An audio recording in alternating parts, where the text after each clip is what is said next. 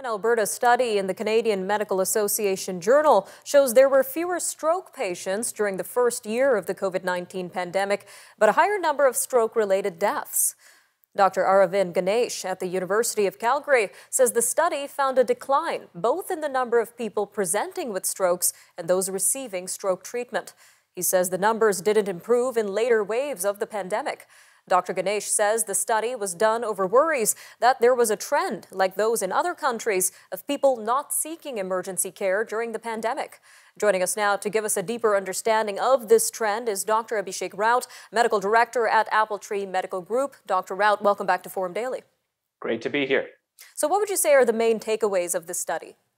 Well, in this study, researchers looked at the data for about 19,000 Alberta patients from January 2016 uh, to February 2020, and then another 5,000 patients during the first year of the pandemic. Uh, what they found was in the first wave of the pandemic, they saw a significant decline in the number of people who presented with acute ischemic stroke, which is strokes because of blood clots to the brain. Along with that, they found that use of stroke therapies also declined by about the same amount. Uh, overall, the researchers found that the number of patients with stroke symptoms did not return to pre-pandemic levels after the first wave in spring of 2020. So I think the study and the research asks an important question. Did the necessary public health restrictions that we had implemented as a result of the pandemic result in some unintended consequences of dissuading people from attending the hospital for emergencies like stroke and heart disease?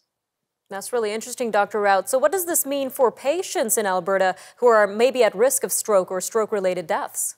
Yeah, so the researchers were able to look at what happened to those patients by studying how people died due to strokes. They found that those out of hospital uh, ended up having significant rises in deaths uh, during the periods of the pandemic. The results were actually similar in hospitals during the second wave of the pandemic and the third wave of the pandemic. More people ended up dying in hospital who had strokes. So the study looked at population level data, so it's not exactly clear why people decided not to seek treatment. But what it means for Albertans is that not seeking emergency care for possible stroke related symptoms would have resulted in more morbidity and more mortality, which could have prevented, uh, potentially been prevented. And the study was conducted around concerns of a trend of fewer people seeking emergency care during the pandemic. Uh, can, can you say that you've noted this across Canada, Dr. Raut? Yes, I think what we've seen is that uh, obviously Canadians have been advised to go to the emergency departments if they need urgent care. But from March 2020 to June 2021, there were approximately on average 9,000 fewer emergency department visits per day across Canada compared to the pre-pandemic level. So we're seeing quite a bit of a drop in multiple areas there. Definitely some concerning information there, Dr. Raut. Uh, what other medical conditions can potentially go untreated or undiagnosed during the pandemic? Yeah, so that's a difficult one because what we're seeing is emergency department visits for almost all conditions were down about 22% uh, below pre pandemic levels in that first year. So less urgent and non urgent visits had decreased the most to about 28%.